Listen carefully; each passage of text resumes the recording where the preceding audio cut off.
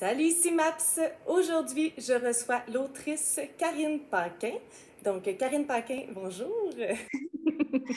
Elle est originaire de Val d'Or. Euh, Karine Paquin réside aujourd'hui à Saint-Féréol-les-Neiges. Elle est autrice, enseignante au primaire et professeure de théâtre.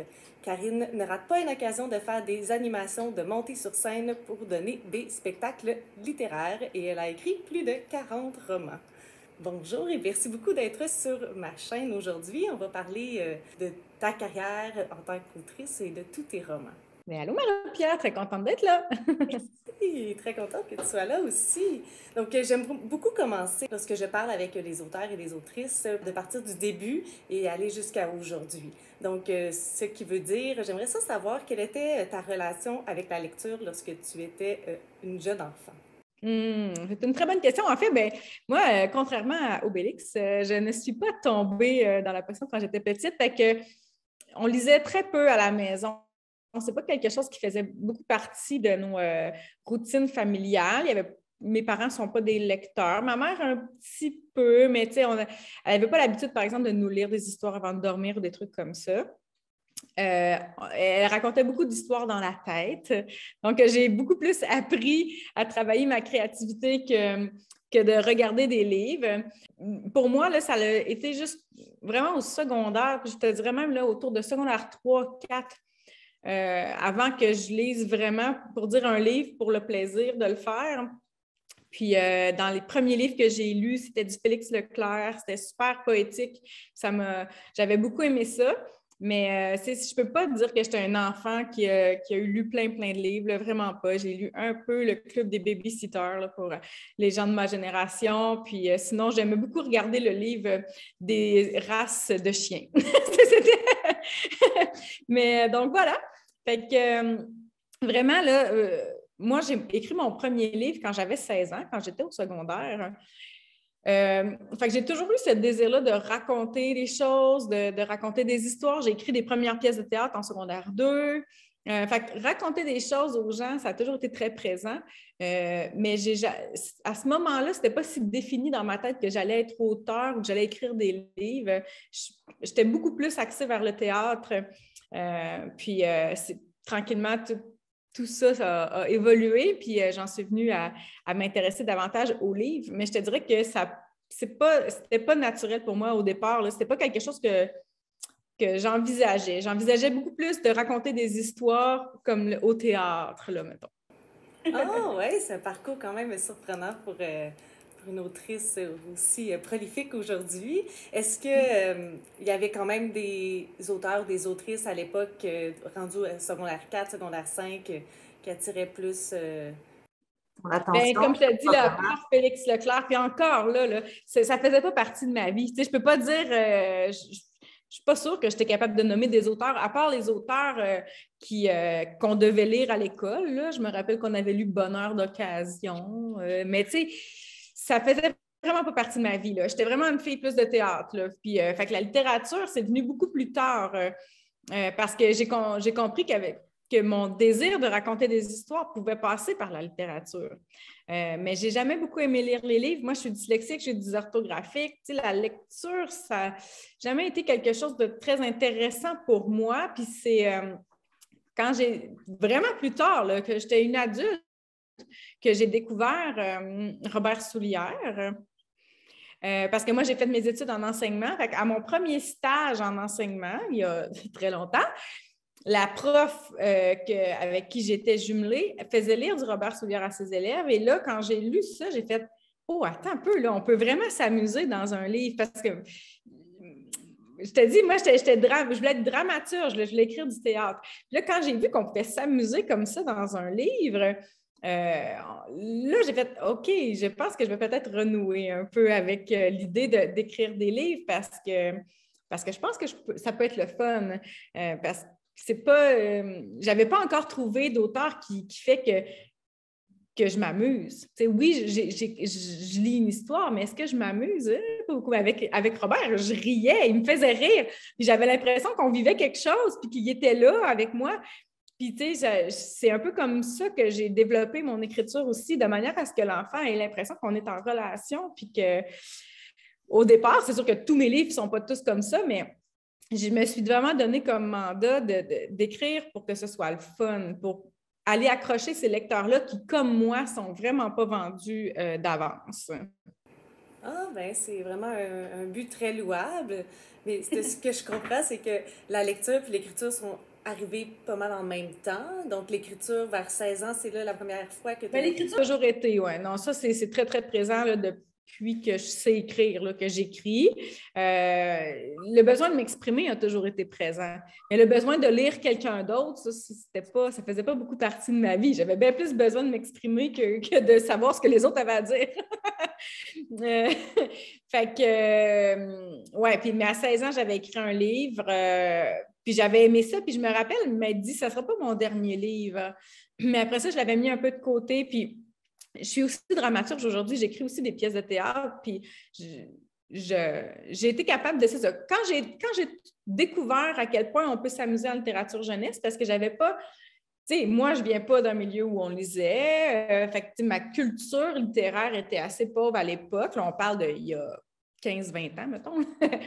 Euh, ma culture était assez pauvre, euh, à, quel point, oui, je savais qu'il y avait la littérature jeunesse, la littérature pour adultes, mais tu sais, c'était pas très défini moi. Puis là, à un moment donné, j'ai compris que, qu'en littérature jeunesse, euh, il y avait quelque chose qui m'appelait, quelque chose euh, qui, nous, qui était très différent de la littérature pour adultes, quelque chose de beaucoup plus ludique, de, sans, avec beaucoup moins de, barrières. On pouvait comme. J'avais comme l'impression d'avoir carte blanche en littérature jeunesse, puis que là, je pourrais vraiment m'amuser puis écrire un livre à ma façon. C'est un peu comme ça, mais c'est vague un peu dans ma tête à quel moment j'ai décidé ou pas de faire, euh, de faire ça. Là. Ça, a comme été tout naturel, comme si je suivais une rivière puis elle m'a amené là où il fallait. Euh, fait que c'est ça. Parce que c'est quand même arrivé assez rapidement dans ton parcours. De, de ce que j'ai vu dans tes livres, il y a eu le premier qui était l'accouchement, qui semble plus comme un euh, guide pratique. Un guide parental, exact, oui.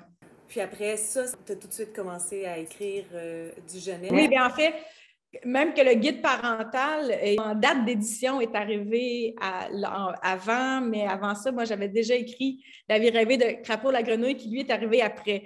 Euh, mais dans la vraie vie, euh, ça part de la vie rêvée de, de Crapaud la grenouille. Puis il y en avait même eu d'autres livres que j'avais euh, essayé de soumettre. Mais tu sais, j'étais, aux études à l'époque, j'étais jeune maman. Moi, j'ai eu mes enfants en même temps que j'étais au bac.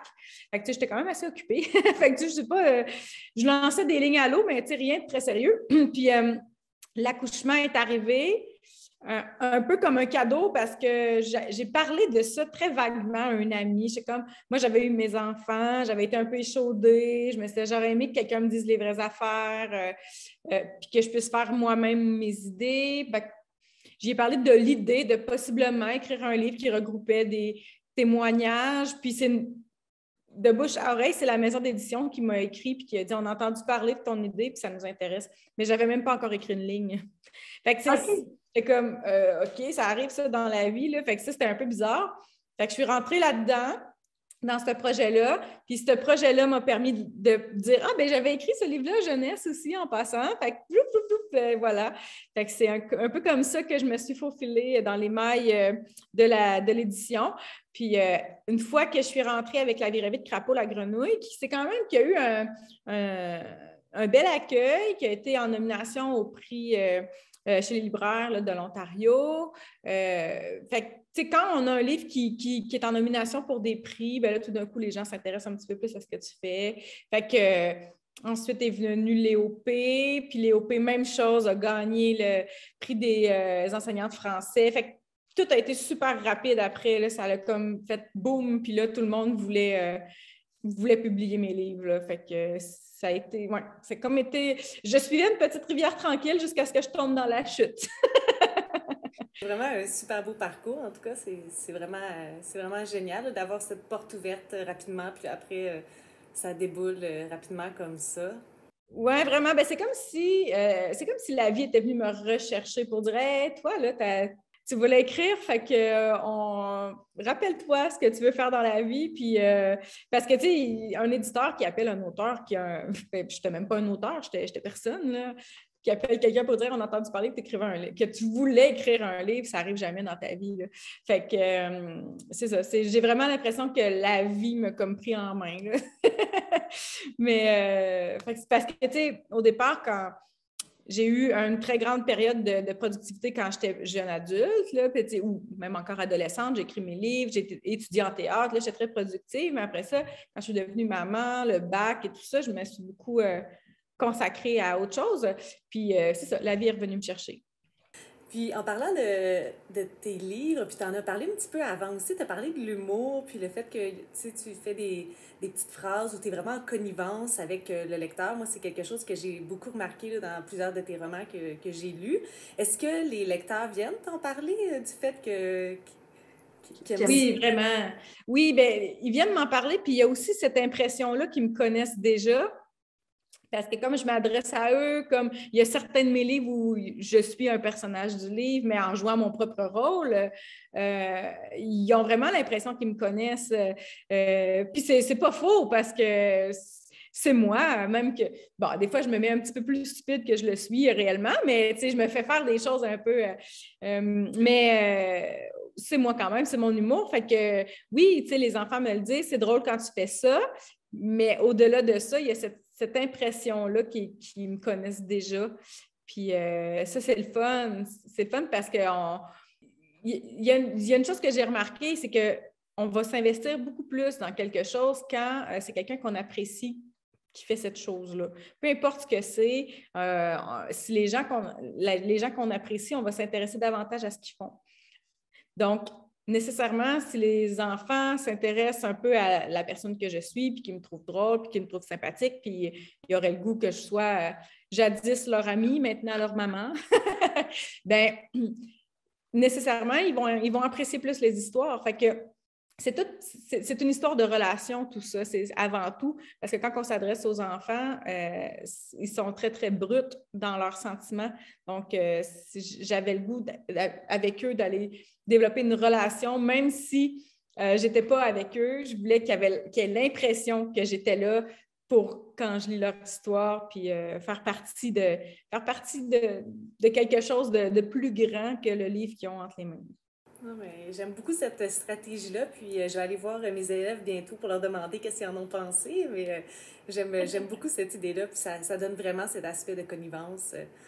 exact. Bien, les livres les plus, les plus marquants où je fais ça, bien, il y a Léopé, c'est celui avec, j'ai avec lequel j'ai commencé, que lui a des apartés un peu d'intrusion. Ensuite, avec Ella, lui, je me suis carrément mis dans le livre. Fait que là, je suis un personnage qui vit l'aventure en même temps. Dans Full Texto, je m'adresse quand même aux lecteurs. Qu'est-ce que tu en penses? Je leur fais des blagues, je pars dans des ballons un peu. je leur dis, ah, ça n'a même pas rapport dans l'histoire. Fait que, je me promène un petit peu avec eux comme ça. Fait que ça, c'est vraiment mes, mes œuvres assez marquantes où je m'adresse aux lecteurs. Avec les albums, ben, avec San Pedro de la moustache qui retrousse, c'est pas moi, mais c'est San Pedro qui s'adresse aux enfants. Fait que j'aime ça. L'enfant, au-delà d'un livre, il faut qu'il ait l'impression de vivre quelque chose. C'est assez égocentrique un enfant, hein, fait faut que ça tourne autour de lui. J'aime beaucoup. C'est pas péjoratif quand je dis ça. J'aimerais ça savoir euh, comment ça se passe pour toi l'écriture d'un roman? Donc, euh, de l'idée euh, qui germe dans ta tête, comment tu vas choisir tes idées, puis jusqu'à la publication? Puis aussi, je sais qu'il y a certaines personnes qui écrivent plusieurs romans en même temps, puis qui vont piger. Puis si toi, c'est ton style d'autrice ou si tu lis un roman à la fois? J'écris en général plus d'un livre à la fois. C'est rare que je suis sur un seul livre. Ça, va être autour de trois, quatre quand je suis dans le rush, mais idéalement trois. Donc, trois, ça veut dire euh, deux romans, puis souvent une petite histoire, un, album jeunesse qui traîne ici et là que je fais de. Euh, en général, quand j'ai une idée de livre, euh, j'en parle d'abord à mes enfants, mais là, plus elles vieillissent, moins elles sont des enfants. Mais là, elles sont à 14 et 16 ans. Fait que là, mais tu sais, je leur en parle, voir qu'est-ce qu'ils en pensent. Est-ce qu'ils pensent que c'est une bonne idée? Ensuite, quand eux valident que c'est euh, que c'est une bonne idée, après ça, j'en parle. Euh, ben, je choisis un éditeur qui, je crois, serait euh, le meilleur éditeur pour ce type de livre-là. Je travaille déjà avec plusieurs, fait que, je vais voir, je vais pas voir de nouveaux, je vais voir ceux que, avec qui je travaille. Puis là, ben, je leur parle de mon projet. Euh, je n'écris pas un livre sans, sans une maison d'édition déjà intéressée. Là. Fait que je leur en parle, puis s'ils sont intéressés, ben après ça, je me mets au travail. Puis en général, ben, c'est ça, j'écris deux, trois livres en même temps, trois, quatre. J'aime ça parce que quand je, je suis un peu tannée de quelque chose, je peux aller ailleurs, je peux me promener parce que je suis quelqu'un qui. J'aime faire plusieurs choses en même temps. Fait que juste une chose, je trouve ça trop ennuyant. Fait qu'en faisant plusieurs choses en même temps, ben, ça me permet de, de, changer, euh, de changer un peu mes idées tout en faisant la même chose, mais bon. Euh, puis en général, je, je, je, médite assez longtemps un livre de manière à ce que quand le projet est accepté, ben, je, je l'ai pensé plusieurs fois. Ce que, je dis aux enfants, je joue le film dans ma tête. Le, film, il joue, puis à un moment donné, ben, je me sens prête à l'écrire. Ça ne veut pas dire que je sais exactement tout ce qui va se passer, mais je connais mon début, je connais ma fin, puis au milieu, ben, on verra euh, les surprises qui arriveront. oh, wow! C'est impressionnant quand même. Donc, il y a des séries par, euh, par exemple, il y a des séries qui, qui, durent plusieurs tomes, puis tu connais déjà comment ça va commencer, tu, tu, tu, sais comment ça va finir, mais tu ne sais pas nécessairement combien de tomes tu vas. Ben, euh, c'est comme les OP. Les OP, c'est un bon exemple. Je savais comment ça commençait, je savais comment ça finissait. Entre les deux, je ne savais pas trop où est-ce qu'on allait aller, à combien de tomes? J'avais mis cinq au départ dans mon projet d'édition. Puis en cours de route, je me suis dit, euh, d'après moi, on va faire six parce que là, j'ai l'impression que tout arrive trop vite. Là, ils ont dit, ah ben oui, OK, parfait. Fait que c'est ça. Sinon, j'ai des séries aussi qui n'ont pas de. Hum, qui n'ont pas d'histoire maîtresse, là, comme, les, comme, mettons, les full textos. Chaque livre est un peu indépendant. Il n'y a pas. Hum, il a pas de trame, il n'y a pas d'intrigue principale de série. Fait que là, à ce moment-là, ça, c'est plus. C'est vraiment chaque livre, je le traite indépendamment de la série entière, euh, comme Ella aussi. Mais ça reste que, tu sais, moi, avec mes éditeurs, c'est important de savoir quand je vais être en train d'écrire le dernier. Ça, je veux le savoir parce que c'est sûr que je vais conclure la série, même si elle n'avait pas une trame, mais au moins pour qu'on sente que ben, c'est le dernier. c'est quand même important, je trouve. Euh, mais oui, en général, je connais le début, je connais la fin, mais entre les deux, souvent, je dis c'est mes personnages qui vont me surprendre parce que des fois, ils m'amènent ailleurs, ils m'amènent là où je ne pensais pas. Euh, fait que on laisse la magie opérer.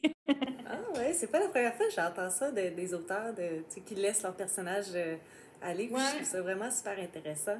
Je me demandais, euh, c'est quoi que tu apprécies le plus dans le processus euh, de l'écriture, puis qu'est-ce qui est plus difficile, que, que ce qui n'est pas ta partie préférée? Ce que j'apprécie le plus, c'est avoir des idées. Puis ce que j'aime le moins, c'est tout faire ces idées-là. moi, avoir des nouvelles idées, j'adore ça. Moi, je suis vraiment. Moi, je suis une fille, je, sais, je suis en. On appelle ça un débroussailleur. Moi, j'ai des idées, j'ai des idées, j'ai des idées. Euh, par contre, quand c'est trop long dans le temps, je peux perdre ma motivation. Fait que c'est sûr que euh, j'aime avoir des nouvelles idées. Euh, après ça, ben, quand, une fois que j'ai pondu ma super bonne idée, ben, il faut que je les écrive, les huit livres. fait que euh, ça, euh, je dis pas que c'est ma partie que j'aime moins, mais il faut que je me garde en tête que c'est le fun d'avoir des nouvelles idées, mais il faut que j'aie le temps de tout faire ces belles idées-là. Puis avec le temps, j'ai appris à me modérer aussi. Il, y a, eu des années où je j'écrivais euh, un, à deux livres par mois. Fait que ça, c'était quand même assez intense. J'ai déjà eu un quatre livres dans un mois. C'est quand même, quand même intense. Fait que Maintenant, je me modère. Euh, sinon, ce que j'aime le moins dans tout, le processus, euh, ben, c'est sûr que tout ce qui est correction, ça m'intéresse moins. Mais tu sais, je ne suis pas une auteure très euh, capricieuse, j'allais dire piquée, mais tu sais, pour un mot, il y a des auteurs qui veulent vraiment regarder chaque modification, chaque virgule. Moi, je suis plus genre, tu allez-y, là, tant que je me reconnais, là, quand même bien que vous changez ma virgule de place, là, je vais, ça ne me dérange pas. Là. Euh, fait tu sais, je suis plus laissée aller, puisque c'est quelque chose que j'aime vraiment moins. Il y a des auteurs qui aiment ça, qui aiment le côté analytique de la chose, pas moi. Fait tu sais, je laisse beaucoup euh, libre euh, cours à mon éditeur là-dessus, puis les correcteurs, même chose. Je veux dire, je ne veux même pas savoir s'ils ont changé euh, une virgule. S'ils changent des mots qui vont changer le, sens d'une phrase, ça va, mais sinon, changez, changez. Allez-y, je vous fais confiance. Euh, puis ça m'est jamais arrivé de lire mon livre et me dire Hey, c'est pas moi qui ai écrit ça. C'est ça. Puis la partie que j'aime vraiment, vraiment le moins, c'est quand j'envoie mon premier jet à mon éditeur, puis là, il faut que j'attende euh, qu'il me revienne pour dire comment il a trouvé ça. Ça, je, déteste ça. Je trouve ça terriblement angoissant. J'ai toujours peur qu'on me dise euh, il était complètement à côté de la plaque. Euh, fait, que que ça, c'est vraiment ma partie que je déteste, qui est un peu stressante. Mais puis après ça, ben, dans le même genre, ben là, quand c'est les lecteurs. Fait que, quand mon livre sort, que là, il faut que j'attende les premières personnes qui me disent comment ils ont trouvé ça, c'est pas une partie que j'aime beaucoup. oh, mais quand même, c'est pas beaucoup de parties finalement qui, qui sont ben, plus complètes. Non, la partie création, j'adore. Là, vraiment, j'adore mon travail. Fait que c'est pas. Je te dirais que s'il si y avait plus d'insatisfaction ou plus de, pas d'insatisfaction, mais de, de frustration, là, que ça, que présentement, ben, je ferais d'autres choses. Donc, euh, tu as publié énormément de romans depuis 2013. J'aimerais ça qu'on parle rapidement euh, de chaque livre ou série. Donc, euh, puis en, allant là, en ordre chronologique, une petite phrase ou un mot qui résume bien là, euh, ce, ce roman-là cette série-là. Je ne sais pas si c'est faisable, si c'est trop difficile. j'ai un, Tu sais, quand tu es auteur jeunesse, il faut que l'esprit de synthétisation. Je sais pas, j'ai aucune idée si ça se dit, j'invente des mots dans la vie. Fait que tu sais, il faut que tu sois capable de, de faire ça quick parce que de faire ce cours euh, et efficace avec les enfants. Fait que je suis bonne là-dedans. Allons-y. Parfait. Donc, on va commencer avec 2013. Euh, il y a eu le, livre L'accouchement pour tout savoir avant. Oui, bien, euh, ça, c'est mon cœur de maman. C'est vraiment ça. C'est tout mon cœur de maman qui a été mis là-dedans. Par la suite, il y a eu Léopé, détective privé en 2016.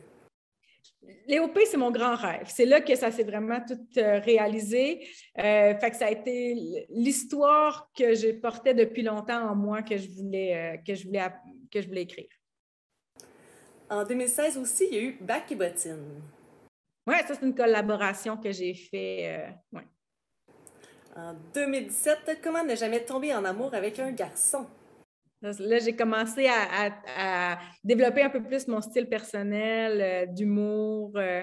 Aujourd'hui, ces albums-là, je te dirais que c'est pas. Je pense plus qu'on serait dans l'air du temps euh, avec ça. Mais à ce moment-là, c'était. On, était dans quelque chose de, comique et, léger. En 2017, il y a eu aussi La fille pissenlit.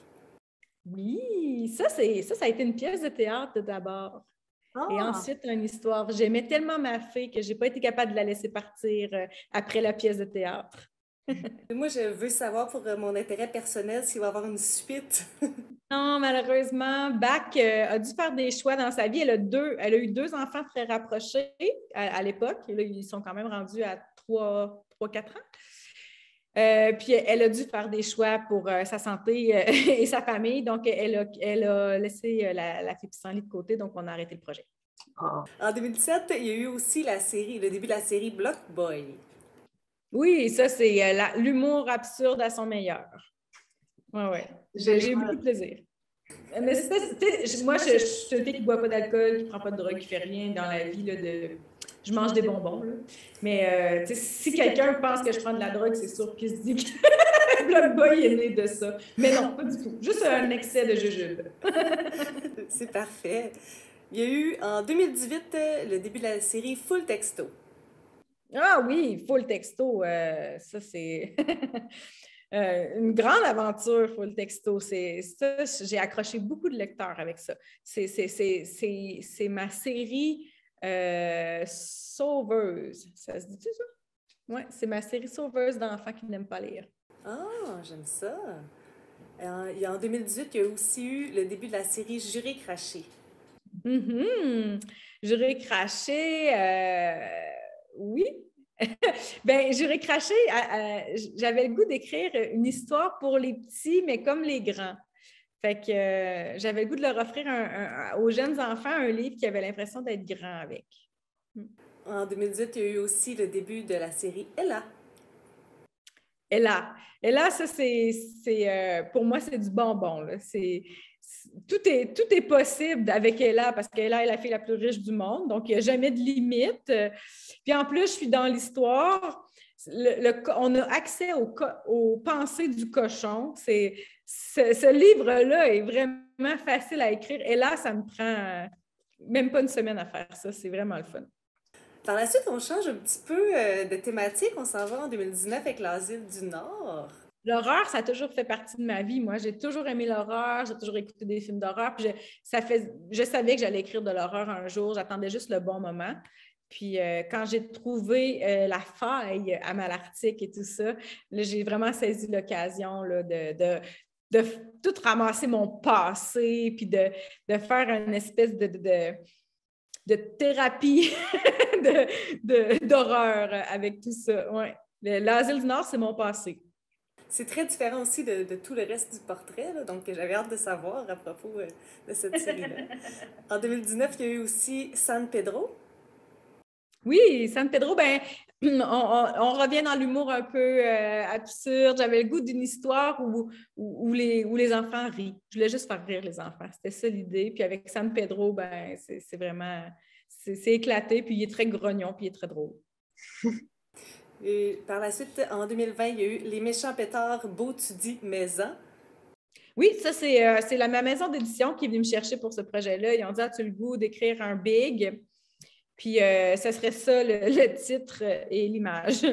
fait qu'il invente une histoire. Fait que quand j'ai vu l'image, j'étais là, oui, boy, ouais, OK. Fait que ça l'a donné Les méchants pétards qui est un, livre très, très drôle, je trouve, puis quand même assez différent de la collection des Big, mais euh, qui se démarque par l'humour, définitivement. On est rendu en 2021 avec l'École des super-héros. L'école des super-héros, ça, c'est, de la, ma bande dessinée que je voulais faire pour les petits. Euh, souvent, moi, j'étais enseignante, je l'ai vu, les enfants sont souvent attirés vers la bande dessinée, mais ça ne s'adresse pas nécessairement à eux. Les blagues ne sont pas nécessairement pour eux, c'est pas parce que c'est des dessins que c'est pour les enfants. Euh, donc, j'avais le goût d'offrir une bande dessinée pour les petits euh, premiers lecteurs, des maternelles première, deuxième année, une bande dessinée qui s'adresse à eux, avec des mots pour eux. Puis, c'est ça, c'est ma BD pour petits. Puis, toujours en 2021, il y a eu La triple vie de Charlie. La triple vie de Charlie, ça, c'est comme un. Tu sais, après avoir fait l'asile, j'avais touché un peu aux jeunes adolescents. Là, j'avais le goût d'aller y retoucher tranquille, un petit peu. Fait qu'avec la triple vie de Charlie, euh, j'étais allée là. J'ai passé mes étés aux îles, ça m'a beaucoup inspiré. Fait qu'avec Charlie, j'ai revécu euh, mon adolescence. Toujours en 2021, la bataille fatale. Oui, ça, euh, j'aime ça. Au départ, quand j'ai écrit Léop, j'avais un désir d'aller chercher évidemment les enfants qui n'aiment pas lire et, possiblement un public garçon. Euh, parce que Léop a attiré beaucoup les garçons. Euh, puis avec Block Boy, ça l'avait continué. puis là, ben, je trouvais que là, il avec le temps, j'avais été dans Ella, j'avais été dans Full Texto. Puis là, mon public garçon, j'avais peur de les perdre. Fait que je suis retournée avec une idée euh, qui, je sais, allait plaire, des jeux vidéo, des réalités virtuelles, euh, des, dimensions différentes. Fait que, avec Forfight, je m'amuse vraiment beaucoup parce que je retrouve, ce, je retrouve la genèse de Karine paquin Et en 2022, là, qui vient tout juste de sortir, je l'ai vu arriver euh, sur les réseaux sociaux. puis ça me semble, si je ne me trompe pas, être plutôt du young adult, même adulte, presque. La théorie ratée de l'évolution? Oui. C'est de l'adolescent, c'est vraiment du 12 ans et plus. Ça fait deux ans que j'ai quitté l'enseignement. Euh, donc, euh, ça, c'est vraiment euh, mon cœur de prof qui est là-dedans. c'est mon école de rêve en tant que pédagogue, en tant qu'étudiante aussi, en tant qu'élève. j'ai pas, j'étais pas une élève de, tout repos au début de mon secondaire, mais j'ai pas eu des profs très bons. J'allais dire compétent, mais je, pense qu'on pourrait même le dire. Euh, fait que je pense que ça aurait pu, euh, ça aurait pu changer les choses, ça aurait pu changer la donne. Mais j'adore ma vie, fait que je ne suis pas sûre à quel point je voudrais vraiment changer. Mais euh, fait que c'est ça, c'est tout mon cœur de prof que j'ai mis dans la théorie de l'évolution. Mon chien, mais c'est comme ma vie présente. Puis j'aimerais ça faire un petit aparté pour la série des animaux de la ferme. Je pense que tu l'appelles la série de la haute cour. Oui. La ferme, la ferme de la Haute-Cour, euh, parce que je l'ai trouvée très différente de tout ce que j'ai lu de toi avant, puis aussi le public, là, ça c'était plutôt pour... Moi j'ai des élèves de maternelle, donc ça j'ai pu lire ça avec eux. Euh, puis ça aborde des, des sujets d'actualité tels que la transidentité, le droit de vote, le, le consentement, l'acceptation de la différence. Donc j'aimerais ça savoir d'où est partie l'idée de cette collection-là. Euh, plusieurs, plusieurs éléments que mis en même temps. D'abord, j'ai euh, moi-même j'ai des poules à la maison. C'est le coq qui, qui, voulait être une poule, le premier livre de la série. Et j'avais un coq à la maison qui se prenait vraiment pour une poule. Fait qu'on part de là, de moi qui dit ah, ça ferait vraiment quand même une drôle d'histoire. En même temps, dans les écoles, on annonce que les enseignants vont devoir donner le cours d'éducation à la sexualité. Ça, ça se passe. Fait que là, je suis comme, OK, ça serait le fun d'avoir de la littérature jeunesse qui vont pouvoir aider les enseignants. Et en même temps, euh, à cette époque-là, il y a comme un revirement, un peu des mœurs. Euh, on a Hubert Lenoir qui arrive euh, sur, sur le marché, ça se dit pas vraiment, hein, qui arrive dans nos écrans, puis les gens voient des, des modèles différents de, de genre, de, d'expression de genre aussi. Fait que tout ça arrive un peu comme en même temps. Fait que mon histoire très banale de coq, euh, qui au départ était juste comme une histoire drôle de mon coq qui se prenait pour une poule, est devenue ça avec euh, tout ça. Puis après ça, ben, quand, ça s'est sorti, ben là, j'ai vu l'occasion d'aller euh, d'aller piquer là où il fallait aller piquer, puis aller chercher des sujets un peu plus tabous, puis d'aller expliquer aux enfants de, façon simple les choses qui sont dites compliquées tout simplement. Fait que c'était vraiment, c'est un, ça a un but très, très, très éducatif, cette série-là. Là. C'est, euh, même si j'aime pas beaucoup faire dans l'éducation, puis j'aime mieux faire dans, dans le, plaisir et l'éducation un peu camouflée. Celui-là, il n'est pas, pas, très camouflé, là. c'est assez... Euh, mais euh, tout ça avec des animaux de la ferme, tout ça en étant très ludique, c'est ça, ça l'idée. Mais vraiment, c'est un outil clé en main pour, pour les enseignants ou les parents. Oui, tout à fait. Moi, en tout cas, mes élèves, ils, ont, beaucoup, ils ont beaucoup aimé les quatre euh, livres. On les a lus les quatre ensemble, euh, à distance. Donc, j'ai éduqué aussi les parents en même temps. Oui, c'est ça. Puis, il y en a plein d'autres à venir. J'ai ben, plein, quand même. J'ai plein de beaux sujets. Puis, je voudrais tous qu'ils sortent en même temps parce que je les trouve tout importants, mais, euh, mais ça s'en vient. Ben, en parlant justement de beaucoup de projets, comment on fait pour s'organiser lorsqu'on publie autant de romans dans une année? Euh, ben, je me donne, en fait, je me donne du temps d'écriture. Je sais ma date, euh, à quel moment je commence quel roman, à quel moment je dois l'avoir terminé. Puis je peux pas, j'ai même pas une ou deux journées de battement. Là, c'est faut que je produise euh, à tous les jours, j'écris ou presque. J'ai un nombre de mots par jour qu'il faut que j'écrive, sinon je, je sais que j'arriverai pas à la fin. Fait que je suis très disciplinée dans mon écriture. Il n'y a pas j'écris tout le temps. C'est pas compliqué, là. J'écris tout le temps, mais j'adore ça. Fait que même puis même quand, quand j'écris pas, ben, je me demande qu'est-ce que je fais, puis je me pars un nouveau livre. Fait que je suis aussi bien travailler dans mes, dans mes projets. Donc, l'écriture à temps plein, c'est maintenant à temps plein dans ta vie? Wow! je fais beaucoup de rencontres avec les écoles. Euh, je suis professeure de théâtre, mais c'est tout le soir. Mais dans, euh, si je ne suis pas en rencontre scolaire, je suis, je suis en écriture. Il n'y a pas, pas d'autre chose. Ça fait ah, deux ans que, que, je suis euh, auteur à temps plein. Là. Puis ça m'a aidé parce que quand j'étais enseignante en même temps, c'était tout que. ouais, là, on appelle ça brûler la chandelle par les deux bouts. oui, ça devait faire euh, beaucoup. Et j'aimerais ça savoir, c'est quoi aussi la suite des projets? On a parlé un petit peu là, pour la ferme qui va avoir d'autres animaux, mais j'imagine que les autres séries aussi ne sont pas toutes terminées. Non, c'est ça, la ferme continue, le texto continue. Et là aussi, For Fight l'école des super-héros. La triple vie Charlie, il reste le dernier que je suis en train d'écrire. La théorie ratée de l'évolution, on va s'ajuster au marché, mais en théorie, c'est une, en théorie, c'est une longue série. Euh, le vite comme ça, ça ressemble à ça. Je pense que j'ai. Ça, c'est mes séries euh, qui se poursuivent. Puis, ben, en 2023, j'ai des nouveaux projets qui vont commencer à embarquer. Euh, mais pour le moment, je veux comme. Il y a quelques séries que je dois mener à terme avant avant d'embarquer dans des nouvelles euh, collections. Super. Bien, comme dernière question, j'aimerais ça savoir où est-ce qu'on peut te suivre sur les réseaux sociaux pour savoir de qu'est-ce qui s'en vient euh, de toi? Je suis partout, en fait. Euh, euh, ben, évidemment, Facebook pour les enseignants, Instagram, TikTok.